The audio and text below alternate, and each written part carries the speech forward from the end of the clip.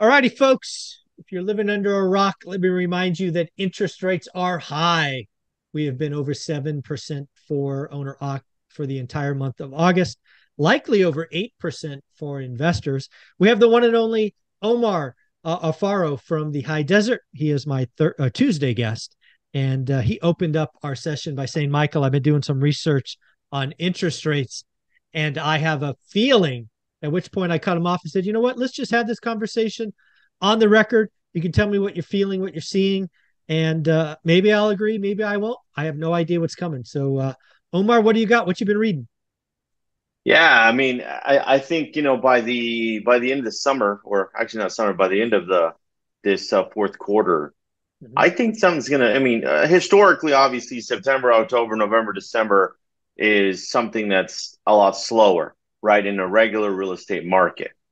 Yeah, and then pair it with, um, you know, half a percent or a percent an increase uh, of your um, of your interest rate you know, where conventional financing is going to be probably eight and a half, nine percent, and then FHA is going to be seven and a half, eight.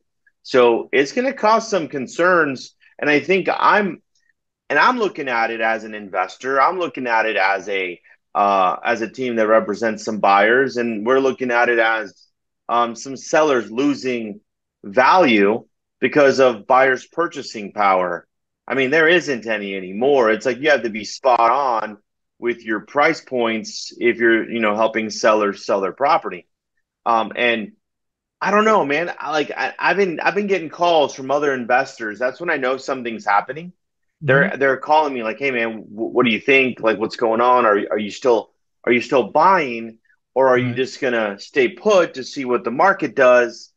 And you know how much inventory do you have? And where are you going? Are you dropping prices to hurry up and sell the the assets or you're going to be stuck with the bag, you know? So yeah. I don't know. It, it's an inter- inter- interesting um, topic.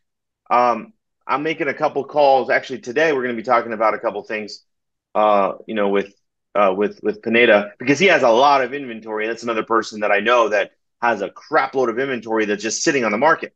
So it's yeah. like, I want to know what he's going to do because I don't have that many, you know, that many, that many doors uh, that are on the market. We got four or five, but it's it's a trip. I mean, what are your thoughts, Michael? Because you know you've been yes. doing this a minute. Yeah, I've been doing this a minute. Um, I started putting content out about two or three weeks ago, uh, reminding folks about what happened last year. In fact, Jason Pritchard and I recorded a show this Sunday. I think it posted today. It may have posted yesterday. Basically, imploring people who are in the flipping business to be careful. Mm-hmm. Remember what happened last year.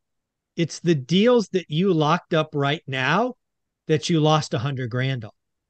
Oof, I know. Don't remind me, man. Yeah, because I don't know what it is, right? A lot of folks, you and I, you included, you and I were talking February, March. Michael, I lost some money. Let's tell the story. It's not all roses. Sometimes you lose. And yeah. then the market picked up in the spring. People are getting a little full of themselves a little I can't miss. This is easy again. Yeah, no way, man. No way. Yeah. And oh, by the way, the rates jumped again. And I've been on record saying transactions are going to keep continue to crash. We're going to be sub 4 million. We've seen demand disappear. We're seeing supply disappear. So um, I think we're going to repeat last year. I really do. I think I think uh, October, November, December, January are going to be super slow. I think August and September are going to be really slow. So I would be extra careful. If you are flipping below the median for your market and it's a dialed in property, it'll probably sell. But it can't be a yeah, but property. Michael, I've got a perfect turnkey property, but it's on a busy street. Michael, I've got a, a pretty property, but it backs up to a gas station. You know, the, I call those yeah, buts. Right um, it's it's still it's it's time to be careful.